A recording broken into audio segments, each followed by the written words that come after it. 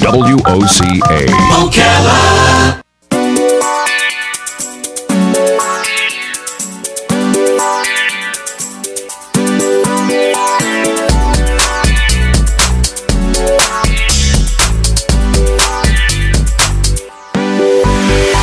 All right, six minutes after 11 o'clock. Thank you for tuning in. The other day, there was a, a story about the actress Julia Louis Dreyfus making uh, an announcement. I guess she did it on Twitter. Everybody announces things on Twitter now. And uh, we all know and love Julia Louis Dreyfus, and she- apparently she's now um, battling breast cancer. Um, so we are going to talk about that. Um, there are some things to that, that were in the article about her, um, indicating that she had early detection, and that's a good thing in her case.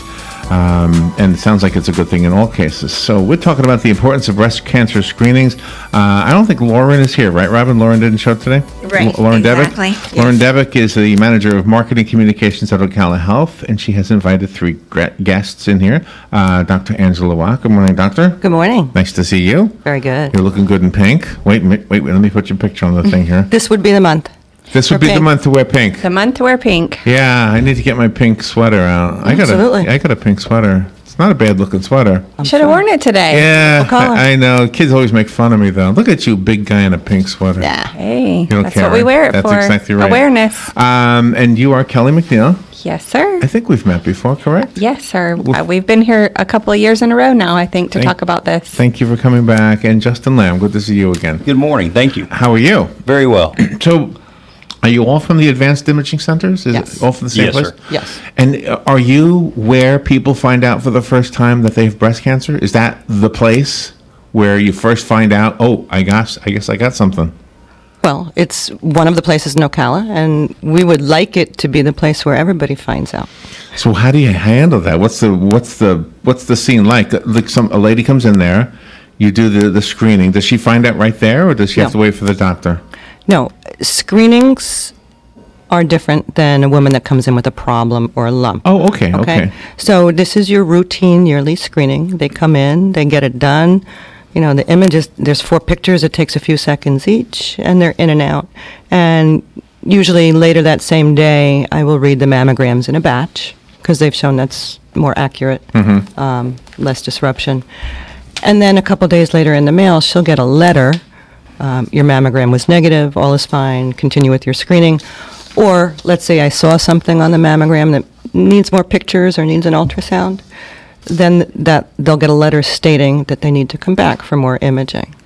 And do you have ladies who show up every year, regular, like it's a regular appointment? Absolutely, every tons, year. tons.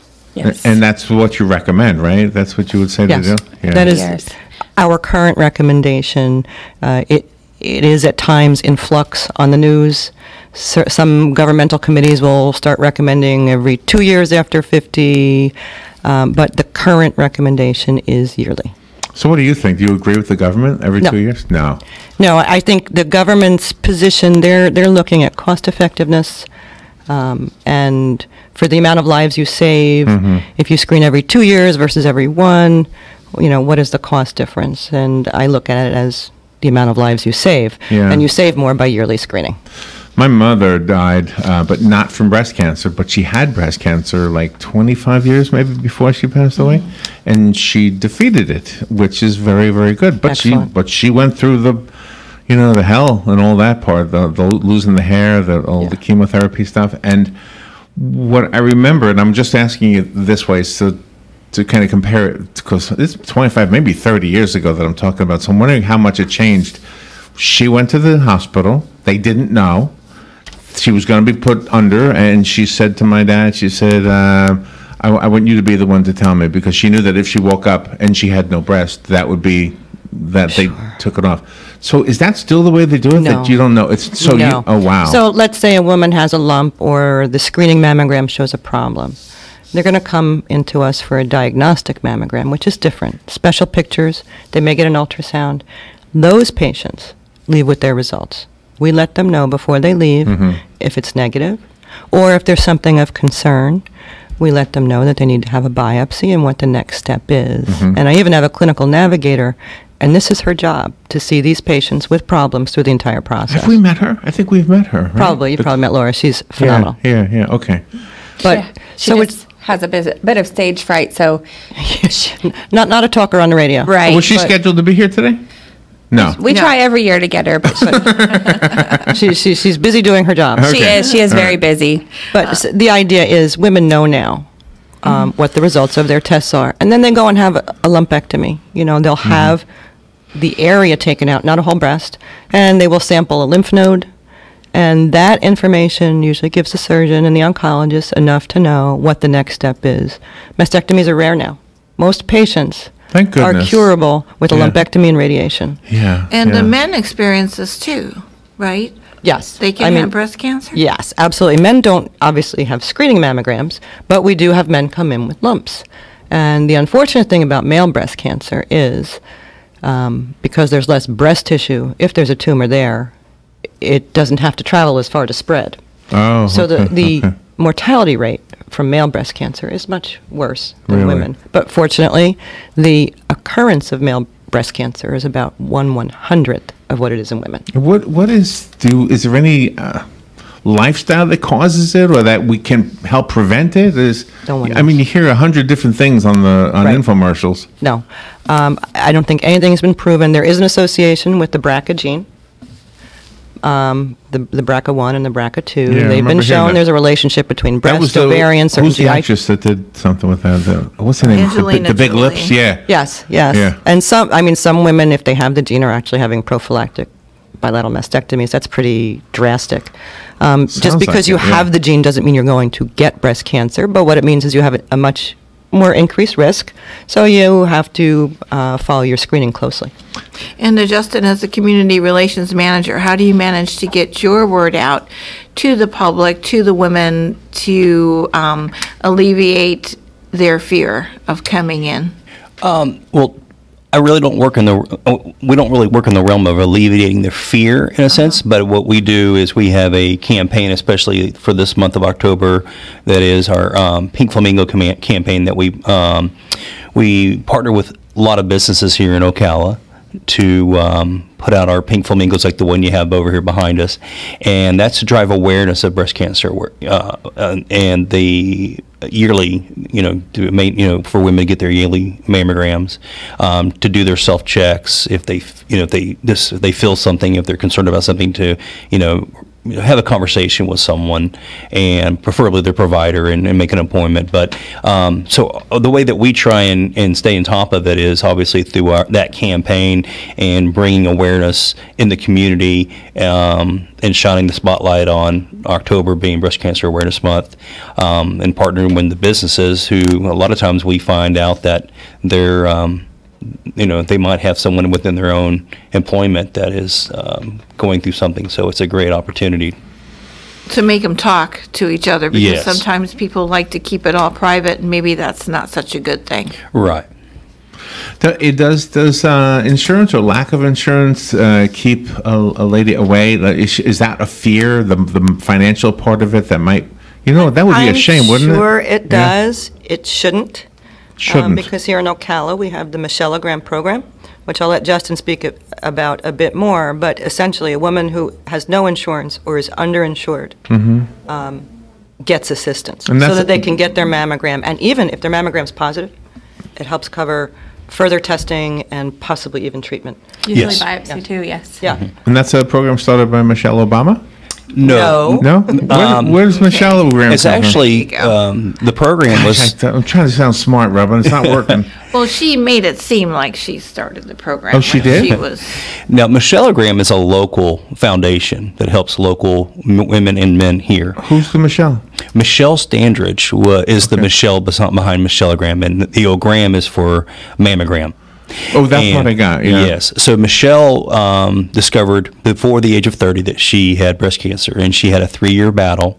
Uh, ultimately, um, uh, succumbed to breast cancer. Oh, my God! But during that three-year campaign, when was that? This was back um, 2000. Five. 2005, Six? somewhere Something like that. So, um, At least there- ten years ago. yeah. So during the, her her three year battle, she was very much an educator of letting women know they got to take their health into their own hands. They have to check themselves. They don't want to wait till 40 if they feel something there's concern.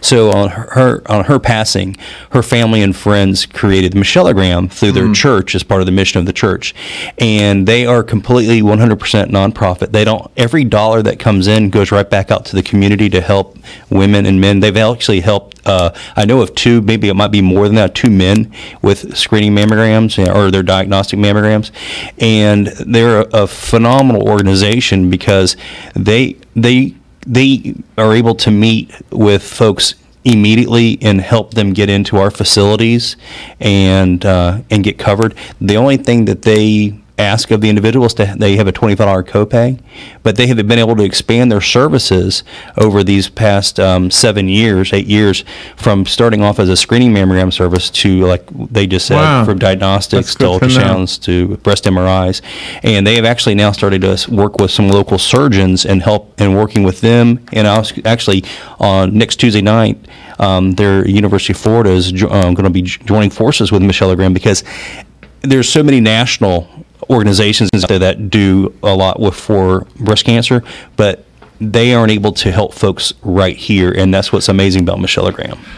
you know, our, our role in everything is just to get the word out. And, and I'm wondering how hard it is to get the word out about that, uh, about, about not just the Michellogram, but about any campaign, anything that somebody who's tucked away, I don't know, I'm trying to picture somebody who's never pays attention to the news or whatever. I mean, this is stuff we need to get to every person who's living here, right? Well, it's part of the Yes. reason why we're talking today. That's it, yes. But I, my question for Justin and Kelly is, if there's a woman listening who wants to have her mammogram with us at Advanced Imaging, doesn't have insurance, wants to contact, or wants to do it through Michelleogram, who do they contact? Do they contact us? Do they contact Michelleogram? Yes, they could. Well, if they could always reach out to us, and we can connect them. Uh, the, the probably the, a quicker route would be going directly to michelleogram.com, or they could call them at area code 352 469 6006, and um, and they they should be able to uh, speak with Sherry or Terry Roberts, and they will get them um, through the interview process. We are up against a break, but we will be back. Uh, Dr. Angela Watt is in the studio. She's a physician with Advanced Imaging Centers. Uh, Kelly McNeil is here. She's the imaging supervisor for Advanced Imaging Centers. And Justin Lamb is the community relations manager for Advanced Imaging Centers. And we'll be right back. If you have any questions, by the way, we will take, we'll take phone calls on the other side of the break. The weather is brought to you by myfwc.com. Safe boating is no accident. Mainly cloudy for the rest of the day. A shower or thunderstorm around. An afternoon high 79 to 81. A shower or a thunderstorm left over in a few spots in the evening. Otherwise, cloudy through the night tonight with a low 74 to 77. From the Florida Weather Center, I'm Kevin Snyder. It's the end of the fiscal year, and that means budget cuts and number crunching. Now's the time of the year you're evaluating your expenses, planning your budget, and finding ways to save money and increase efficiency to maximize profits. Dex Imaging understands and delivers. Call Dex Imaging today for a free document management evaluation. Cutting your office expenses is as easy as calling Dex Imaging 352 266 0333. Start saving money today and increase your bottom line with Dex Imaging. Printers, copiers, and fax machines that increase office productivity and save you money. No one understands your bottom line better. Call Dex Imaging today 352 266 0333 or check them out on the web at deximaging.com. That's D E X imaging.com or call 352 266 0333 for your free document management evaluation today. Hey, this is Matt Wilkerson from Verizon. You work all day, right? So why would you want to spend your night out shopping for that new phone? Well, Marion County, let me and Verizon help you out. I can deliver to your home or office, saving you precious time. Phone, tablets, internet, home phones, even accessories. Whatever you need, we will deliver free of charge. Call me at the store 352 528 0020. That's 528 0020. All right, 21 minutes after 11 o'clock. Thank you for tuning in. Uh, part of the, the, the wonderful thing about having a community is that the community can come together whenever there's a, a mission at hand. And uh, conquering cancer almost seems insurmountable, but when you have people who are dedicating their lives to it and they have an idea on how we, as average citizens, can help, we're all ears. So, uh, uh, once again, Dr. Angela Watt, um, Kelly McNeil, and Justin Lamb are here. We're talking about Advanced Imaging Center's uh, uh, campaign, the Pink Flamingo campaign. So this is easy. I can get a pink flamingo and put it in my yard and show everybody that I support what you are doing, right? Absolutely. And not only that, but it'll remind somebody, hey, go get a mammogram, right? Right. So the, the pink flamingos are available at our either of our facilities um, on Southeast 17th Street or out on State Road State Road 200, and they're twelve dollars each. And that twelve dollars then goes to uh, Michellegram to um, continue to help local individuals be able to get the screening that, and diagnostic mammograms that they need. Nice. And Some local business have whole flocks of them. Yes. I've front. seen them It's on the lawns. Yes, I know. Well, we had uh, five of them at one time, didn't we? I, th- Yeah. I think so. Excellent. Yeah. So uh, you said there was a special. I know it's kind of weird that a medical operation has a special, but this is an important one. Yeah, for the month of October, we have a screening mammogram special for those that um, that need to come in and get a screening mammogram, and it's one hundred thirty-three dollars and ninety-eight cents. Okay. And uh, what do they do? Just call you, or how do they do that? They set set it up by phone call, I guess. Yes, they can call us at uh, area code 352 867 9606 and uh, press the option for scheduling. And then if they, um, and I'll let Dr. Watt kind of speak to the, the uh, screening mammogram and Yes, if what is required and what's not required for that. If they have an order from their doctor, that's great. Obviously, we like everyone to be plugged in to a family doctor or a primary doctor or practitioner. I never heard it put It- that way before. If, however, Plugged in. Yeah. if, however, you haven't been to your Uh-huh. primary practitioner in a while, and you don't have an order, that should not be a barrier. You can just call and schedule yourself. What's the blue streak in your hair for? What is that? Um, well, it, interesting. I started a year ago. It was pink for breast cancer. That was awareness. pink? Well, And I had one blue? in my hair that was pink for breast cancer awareness. Started last Uh-huh. October, and then after that passed, I just like changing the colors. But next week, I'm getting it changed to pink again. oh, that's your thing. It's a, it's a sexy look, though. You got a nice hair. Thank you very much. now I'm turning red. So, so you know what? We remember in the old days. Um, well, you're all too young, but Florida was filled with people with pink flamingos. It was just a fad. It's Remember? a retro thing. Yes. Yes. So yeah, so now go and do it again. If everybody twelve dollars, you get a pink flamingo, put it in your yard. You know, and it means something now. And it helps people so much. It helps people. Yeah, yeah. And we, we adopted the flamingo um, seven, going on seven, eight years ago as Right. our um, um, icon for breast cancer awareness, being in Florida, and so that's where the uh, breast, the Pink Flamingo campaign was born out of. Right, right. So we were very fortunate. We've partnered with. Uh, um, a lot of businesses here in Ocala that allow us to go out and put the flamingos in a large uh, numbers in front of their businesses to drive that awareness. And in, in return, those businesses make a, um, a donation to Michellegram. And that continues to, um, you know, able to build their coffers so that they can continue to refer patients to um, to our to us at Advanced Imaging or uh, a few other imaging centers. You don't know the, the women, the number of women that come in and they have a problem, and you just see their wheels spinning. That oh my God, I'm going to need more tests. I'm going to need surgery, and they don't have insurance. oh my gosh. And then Laura comes in and talks to them about Michellegram. And in the midst of And all this stress, suddenly- there's a little bit of relief. Yeah. Yeah. Oh gosh, yeah. Well, It's crazy that you know money is such an important thing in life, but it's not as important as health. And there's the the wonderful thing about our society is we have so many programs, whether it's government or not government. We have some really good programs. So don't ever let don't ever put your health on the back seat. Do you know the, the state mockingbird in Florida? I mean, the state bird of Florida is the mockingbird. You know, Did not know that? how come it's not the flamingo?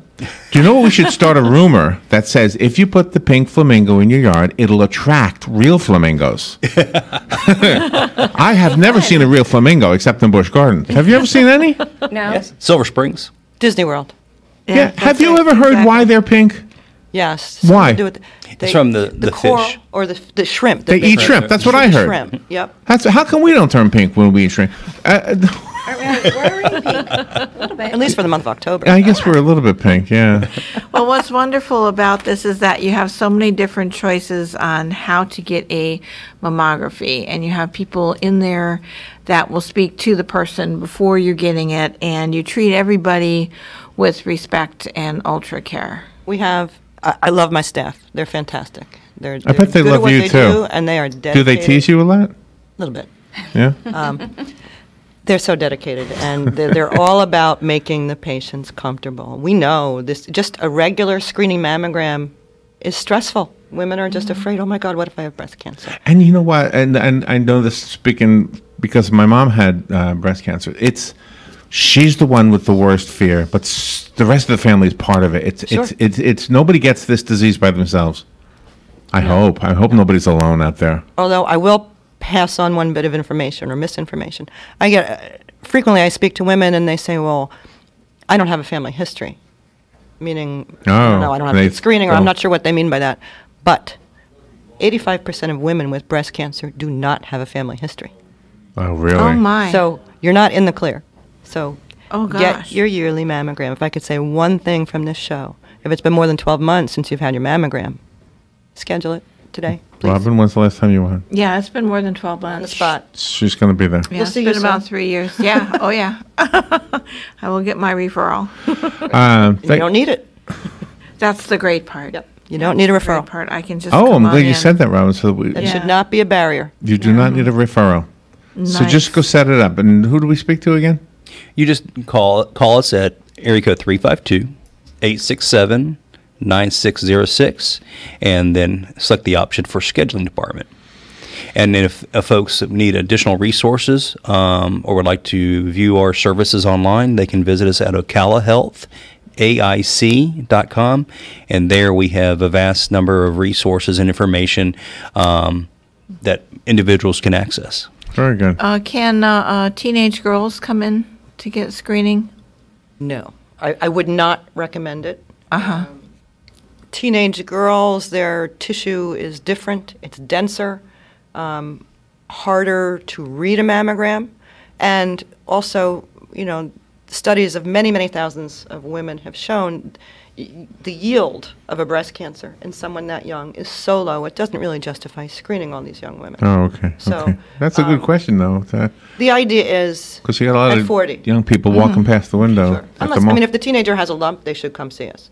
And I do see So if that. the- a reason, But- okay, yeah. But for screening, no. The idea, screening should begin at 40. Um, If you have a mother or a sister that had breast cancer before menopause, you should talk to your doctor about starting your screening before 40. Oh, okay. Excellent. Uh, we I have love you guys. recorded this conversation. We will edit out all of my stupid comments, and it'll be pure. it'll be pure information. Uh, Justin Lamb, thank you for coming in. Thank you. Are you related in any way to Ruben Lamb? That is my dad. That's your dad. Oh wow. Have you ever seen the painting I did of your dad? Yes, sir. Mr. Did you know that it was me who did it? No, I did not. He has that hanging in his house. Yeah, your dad was in my living room for three months. Uh, sorry about that. Kelly McNeil, good to see you again. Thank you so much for coming in. Thank, you for the work you've chosen to do. Dr. Angela Wyatt, you are outstanding. Thank you for being Pleasure. here. I hope to see lots of women come in Absolutely. Love that blue streak. It's going to be pink next time, right? next week. How do you do that? Is it Kool Aid? No, I haven't done it at the salon. Oh, okay. I thought it was Kool Aid. No. I can't do it with Kool-Aid. My kids do it with Kool-Aid. We'll be right back. Fox News Radio. I'm Lillian Wu. More than 170 people in Las Vegas hospitals struggling to recover from Sunday night's massacre, including Aaron Cotter's father, Doug, who wasn't located by his family till the next